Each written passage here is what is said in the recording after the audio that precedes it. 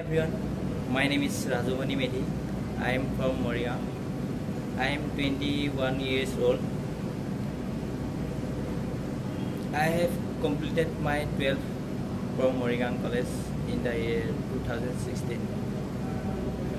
There are four members of my family, my parents, father and me.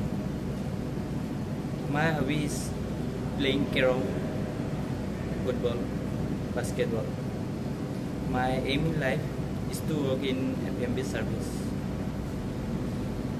মই যেতিয়া D B আইত আহিছিলোঁ প্ৰথম মোৰ ভাল লগা নাছিলে। ৰাতিপুৱা চাৰে পাঁচটাত উঠিব লাগে আৰু ৰাতি চাৰে দহটাত শুব লাগে। তেতিয়া মোৰ বহুত প্ৰব্লেম হৈছিল আৰু ব্ৰেকফাষ্ট লাঞ্চ ডিনাৰ এইবিলাক অলপ প্ৰব্লেম হৈছিল এডজাষ্ট কৰোঁতে। আৰু লাহে লাহে মোৰ ভাল হ'ল। এসপ্তাহৰ পিছত মই এডজাষ্ট কৰিব পৰা হৈ গ'লোঁ। তাৰপিছত কোনো প্ৰব্লেম নাই। মই ইয়ালৈ আহিছিলোঁ F M B service D D U G K Y প্ৰজেক্টৰ ক'ৰ্চ কাৰণে ছমাহৰ আৰু ইয়াত সঁচাই মই কষ্ট কৰি বহুত সুখী হৈছোঁ। সকলোকে মই ধন্যবাদ জনালোঁ ডন বস্কো ইনষ্টিটিউটৰ আৰু মোৰ টিচাৰ সকলোকে মই ধন্যবাদ জনালোঁ। Thank U